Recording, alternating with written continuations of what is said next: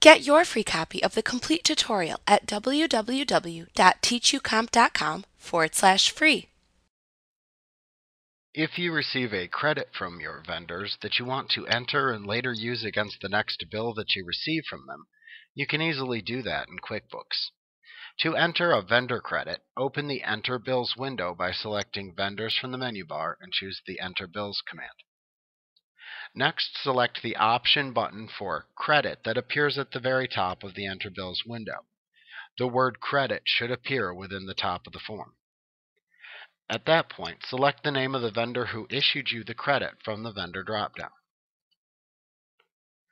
Then enter the date that you received the credit from the Date Calendar selector.